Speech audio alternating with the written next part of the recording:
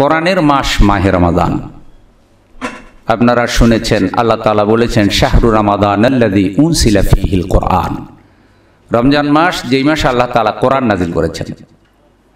আমরা কোরআন জেনে বুঝে, কোরআন অনুযায়ী জীবন গঠন করা, কোরআন অনুযায়ী পরিবার গঠন করা, কোরআন অনুযায়ী নিজের সমাজ, রাষ্ট্রকে পরিচালনা করার মাধ্যমে যেন আল্লাহর কোরআনের হক আদায় করতে পারি সেই চিন্তা চেতনা, সেই প্রশিক্ষণ রমজান মাসেই গ্রহণ করা উচিত। আল্লাহ তালা বলছেন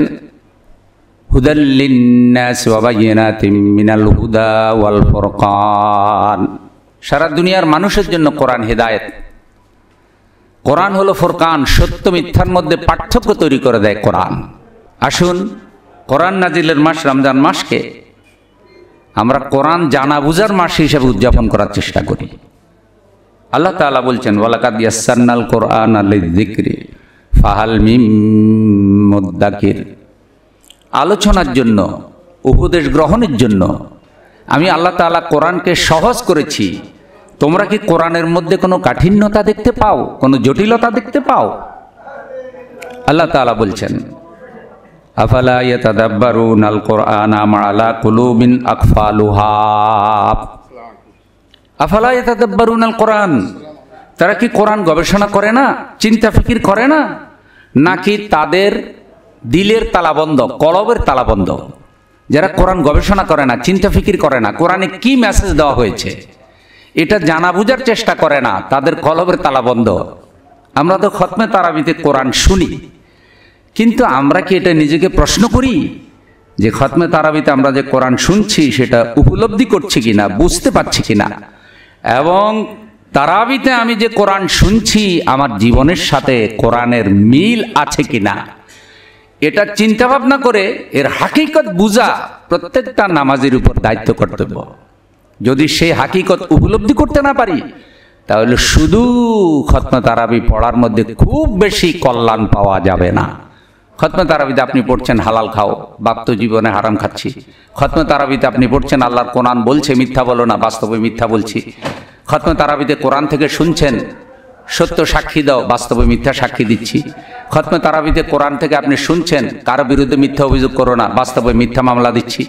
খতমে তারাবিতে আপনি শুনছেন, সুদ খেও না, বাস্তবে সুদ ভিত্তিক অর্থ ব্যবস্থা প্রতিষ্ঠিত করে রেখেছি।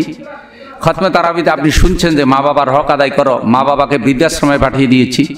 খতমে তারাবিতে আপনি শুনছেন, কোরআন আপনাকে বলছে যে আপনজনের হক আদায় করে দাও। যারা সম্পদের হকদার, তাদের হক আদায় করে দাও। ভাই বোনের হক মেরে খাচ্ছি। খতমে তারাবিতে শুনছেন যে ব্যবসার মধ্যে ইনসাফ প্রতিষ্ঠা করো। আসল আর ভেজাল মিলাইয়া আসল দামে বিক্রয় করছি। সিন্ডিকেট তৈরি করে রমজান মাসে আল্লাহর গোলামদেরকে, রোজাদার বান্দাদেরকে অল্প মূল্যের পণ্য, বেশি মূল্যে কিনতে বাধ্য করছি। এই যে খতমে তারাবিতে আমরা যারা কোরআন শুনছি, আসলে আমাদের পুরো জীবনের সাথে কোরআনের কতখানি সম্পর্ক তৈরি হয়েছে, এটা চিন্তা ফিকির করার দায়িত্ব বিশ্বনবীর প্রতিটা উম্মতের। যদি এই ফিকির করে নিজের জীবনের ত্রুটিগুলো কোরআন সুন্নার আলোকে সংশোধন করার চেষ্টা না করি, তাহলে রমজান আসবে, রমজান যাবে, সিয়াম আসবে, সিয়াম যাবে। আমাদের জীবনে কোনো পরিবর্তন আসবে না। প্রতি বছর রমজান মাসেই দেখি প্রথম দশ দিন মসজিদে জাগা হয় না। এরপরে যখন রমজান আস্তে আস্তে কমতে থাকে, ঈদ আসতে থাকে নামাজিও কমতে থাকে। শেষ দশ দিন অনেক ফজিলতার, অনেক গুরুত্বের, কিন্তু শেষ দশ দিনে আর মসজিদে মুসল্লি পাওয়া যায় না। এখন অলরেডি অর্ধেকের থেকে বেশি কমে গেছে। কালকে জুমার নামাজে রাস্তাঘাট দখল হয়ে গেছে। যেই মানুষগুলো জুমার নামাজে রাস্তাঘাট দখল করেছে, সেই মানুষগুলি আবার আসরের নামাজে নেই। আসরের নামাজে এত নামাজি নেই। তারা গেল কই? জুমার নামাজে যারা রাস্তাঘাট দখল করে মসজিদ একেবারেই বাহিরে চলে গেল, আসরের নামাজে, ফজরের নামাজে তাদের পাওয়া যায় না কেন? জোয়ার ভাটার মুসলমান, জোয়ার ভাটার মুসলমান, মৌসুমী মুসলমান। আমি কোরআন নাজিলের মাসে শুধু মৌসুমী মুসলমান নয়, কোরআন সুন্নার আলোকে আল্লাহর পছন্দনীয় মুসলমান হওয়ার জন্য আহ্বান করছি। আল্লাহ আমাকে সহ সকলকে আল্লাহর পছন্দনীয় মুসলিম হওয়ার তৌফিক দান করুন।